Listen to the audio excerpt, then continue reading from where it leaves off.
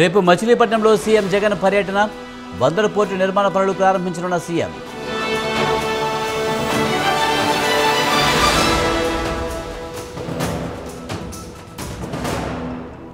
తెలంగాణలో పంటల బీమా పథకం అమలు కావడం లేదు. కేంద్రాన్ని విమర్శించడమే బీఆర్ఎస్ పని అన్న కిషన్ రెడ్డి.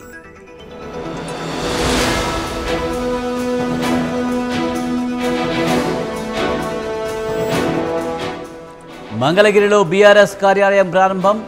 రాష్ట్రానికి రాజధాని లేకపోవడం సిగ్గుచేటన్న తోట.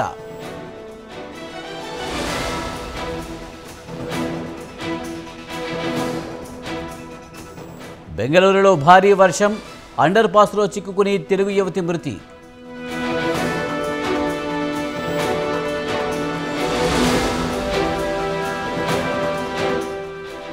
ప్రముఖ సంగీత దర్శకుడు రాజు కన్నుమూత.